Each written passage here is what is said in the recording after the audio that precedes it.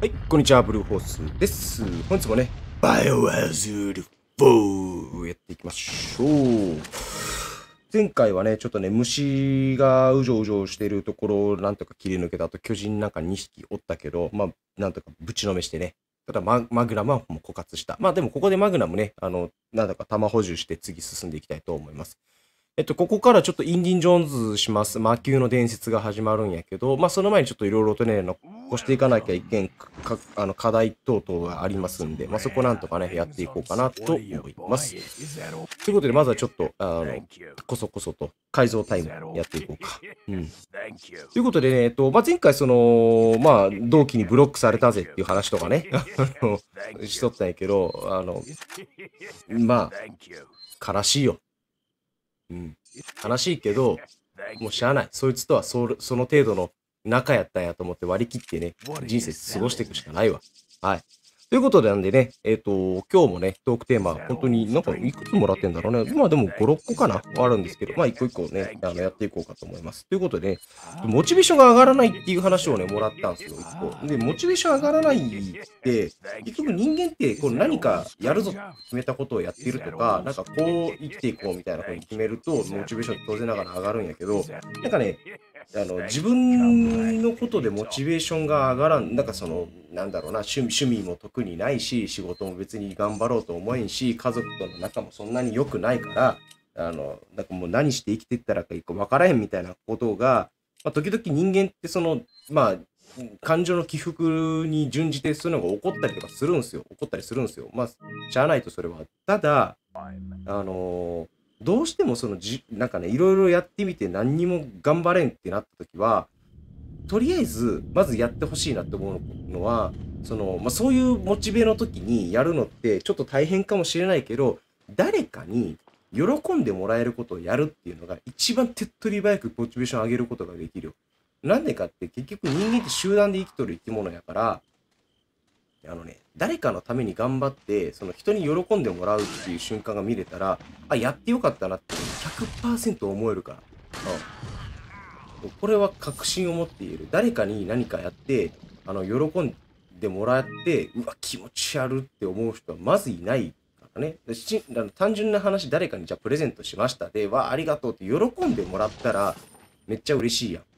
そういうことよ。あの逆にその、なんかプレゼントしたけど、喜んでもらえなかったら悲しいけど、それは喜んでもらえなかったからね。喜んでもらったら、あ、プレゼントしてよかったなって思うやん。プレゼントして喜んでもらいました。なんで喜びやがってとかって絶対思わないわけじゃないですか。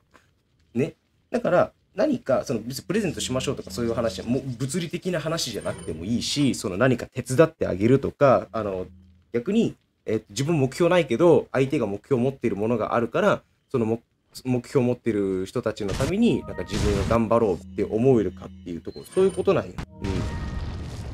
そういうこと、そういうこと。ね。そういうところが頑張らないけん。と、あそそういうことで、モチベーションを維持するとか、上げるとかっていうのに、まあ、結びつけていくんがいいんじゃないかなとは思うね。うん。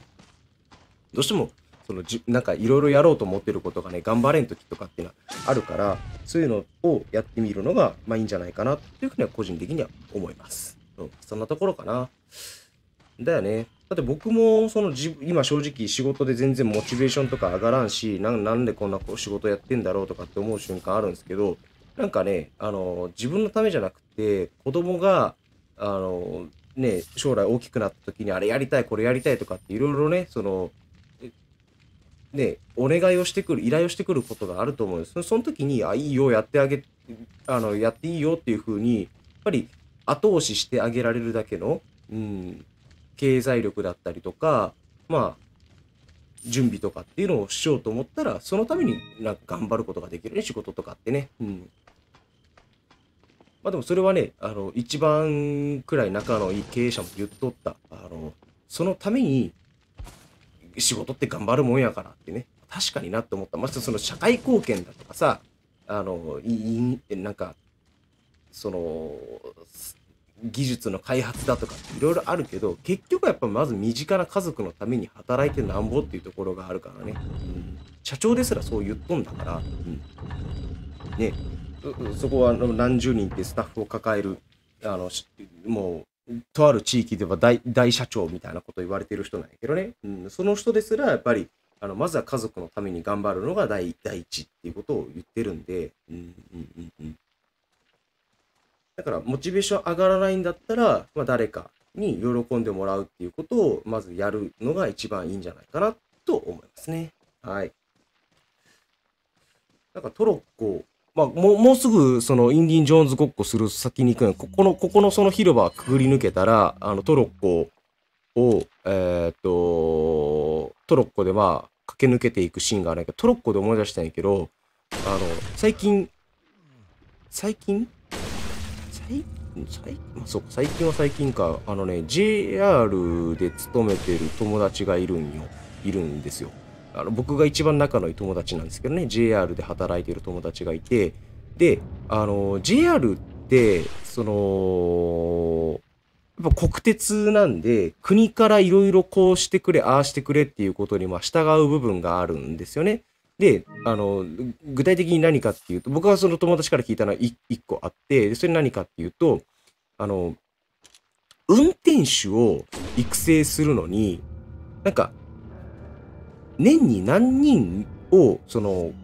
育成してください。育成っていうか、まあなんだろうな、運転手にしてくださいみたいなのがあるらしいよね。年に何人っていうのがあって、で、その、えー、と研修がまあ結構な、あのー、ボリュームがあって、日数もあってっていうのがあるっぽいんですけど、なんかコロナになったせいで、その数がぐって減らされたらしいんよ。うん。で、もともとはそいつは年齢的にも、えー、経験的にも、普通にその車掌やってるんで、あの車掌一番後ろでアナウンスしたりする方のタイプね、運転手じゃなくて。で、あの車掌やってたんで、そろそろその運転手をあのやるっていう、なんか話にをもらってたらしいんですけど、コロナになった影響で、その話がおじゃんになったらしいんですよ。あのそのだからそいつよりもあの経験年数が長い先輩とかがいるんでその経験年数長い先輩があの先先に回していかなくちゃいけないっていう理由からそいつはその年省かれてしまったよね。コロナになった年20だから2020年か。でそれ結局コロナが収束しないでずるずるずるずる尾を引いてしまったっていう関係からその次の年もまだ外されちゃったみたいなんよ。うん、で、今、なんかまた、あのー、ようやく自分の研修が回ってきた番なんですけど、あの、え、じゃあ、たえで、それ何が大変かっていうと、単純にその運転手になれませんでしたとかってじゃなくて、運転手になるならないで、年収がめちゃくちゃ変わるらしいんですよね。うん。で、そのコロナの影響があって、そあの、運転手の数減らされたっていうのって、年収がなんか100万、150万単位とかで変わってくる。100万、150万単位よ。月に換算したらさ、あの、月収が10万円とか下がるみたいなさ、そんな感じになってくる。10万あったらもう生活変わるよ、マジで。あの、月の、なんだろう、あのー、家賃がタダになるようなもんだからね、10万も上がったらさ。あまあまあ、あの、そ、そいつと僕は、あの、まだまだ、ね、家賃そんな高いところに住んでないから10万程度で住むようなね、ところに住んでるからあれなんですけど、っていうの考えたらさ、ね、なんか飲食とかさ、旅行代理店、その GoTo トラベルとかさ、その飲食のさ、なんか、マンボウになったからうんぬんとかやってるけど、あっち下手くそすぎるやろ、俺。びっくりした、今。全然、全然燃えとらん。ここら辺からこう投げたら食らうんじゃないか。普通に橋が上がってきてるね。ダメだ、これ。これ飛び出して、ショットガンでぶちのめした方が早い気がしてきた。そう。ね。そういうところで結局国の愚策のせいでコロナが全然収まらないで、なんかダラダラダラダラ緊急事態宣言。去年も結局1年のうちのさ、もう4分の3以上はもうあの緊急事態宣言だったわけじゃん。で、しかも、その東京はね、まあ、関西とかね、その他の地方はもうちょっと少なかったかもしれないけど、うん。ん？そう。だからなんか1日6万円のなんか補助金出すとかって飲食店とかってしかもなんか1日6万円も売り上げのも1日6万円の売り上げもないところもまとめてさあの6万円出してるもんだから逆に営業しない方が儲かるっつってさそういう悪ど悪どいところとかもあったりしたわけじゃないですか。っていうのを考えたらシンプルによ、うん飲食店だけ優遇すんなよって思ったね。だか、そう、そう、本当友達の話聞いてすごい大変だなって思ったもんね。そのまあ JR なんで収給料がそのめちゃくちゃ悪いとかっていうわけじゃないですけどだとしてもやっぱり100万150万の年収が変わるチャンスだったら誰でもかぶりつくだろうって思うもんそれを国があのこの人数で抑えてくださいっていうのでそれを JR は従わざるを得ないからじゃあその友達まあ仮に A だとしようよ A ごめんなっつってお前今年も無理だわってなってまた100万、150万の社あの年収を上げるチャンスを2年連続ですよ。2年です。仮に150万マックスもだとしたら、300万変わるんですよ。300万あってみや何できんねんっていう話ですよ。本当に。うん。すごいかわいそうだなって思ったもんね。だから今年はその試験に受かるための今なんか研修とか受け取るから、あの、まあちょ、ちょろっとだけあったりとかするんですけど、まあ残念ながらね、ゆっくり遊んだりとかって暇がないくらい、まあ結構ボリュームがある話らしいんですけどね。うん。本当にかわいそうだと思った。そ、そういう闇があるんですよ。国が絡んでる。もう、ゆっくりしてらんないよね。だもう本当なんとかしなきゃいけないと思う。まあもうマンボウも終わってきて、久しいけど、またゴールデンウィークとかでさ、その人の流れとかがさ、結構激しくなったりとかして、痛い痛い痛い痛い。人が激しくなるタイミングとかあったらさ、絶対何か起こるもんね、またね。うん、急に感染者が増えましたとかっていうので。で、また国が後手後手でなんかやってる。違う。怒る前になんか手を打たなきゃならんのよっていう話だよね、実はね。うん。まあでも残念ながら、ね、国っていうのは怒ってみないとその分からないからで、なんか先手を打って下手して、あの、それを当てが外れたってなったら、またその、ね、は、あの、押してくる、あの、なんていうの、叩叩くから、批判するから、みたいな。ね。今だって何やっても本当批判されるもん、何かやって称賛されるなんてことがないじゃん。例えば YouTuber の人がさ、ウクライナに寄付しましたってなってもさ、あの、偽善だ、偽善だとかって叩いてくるしさ、ちょっと前にコナンの話とかあったじゃん。なんかコナンで花嫁を決めましょうみたいな。それもなんかジェンダーなんちゃらだとかって文句言ってさ。いいじゃん。欄に投票したらいいじゃん。春日に投票したらいいじゃん。灰原愛でいいじゃん。佐藤刑事でいいじゃんって。誰でもいいじゃんって。そんな、ねあの、なんか、そういうキャンペーンがあるんだから投票するだけ、ただそれ以上じゃん。別に何の深い意味もないわ。ジェンダー差別とかしてるわけじゃないわっていう話で、そう捉えるお前らが一番差別してっかなっていう話なんですよね。うん。かなってると思うわ。多分でもコロナのせいでさ、みんなやり場のないその怒りっていうのを抱えてて、どこに向けたらいいのかっていうのがわかんないからどうしてもそうなるんだろうけど、だとしても向け方が下手くそすぎるって思うんですよね。うん。そんなんは、そんな怒りの発散を周り巻き込むんじゃなくて、サンドバッグ殴っときゃそれでいいんですよ。あの野郎とか、コランの投票ボフとかってやっといたらいいのに、なんで人様を巻き込むんだって、お前の怒りのその矛先とかっていうのを俺たちに向けたところで何の意味はねえわって逆にお前らがそういうことやるせいで嫌なニュースがいっぱい目に飛び込んできてこっちが不快な気分になってそれ責任どうとんねん貴様みたいな話なん。で、